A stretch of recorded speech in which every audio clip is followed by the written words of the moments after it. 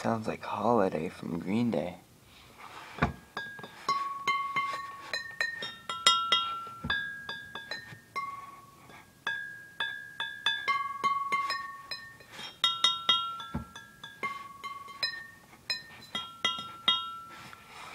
It's so cool.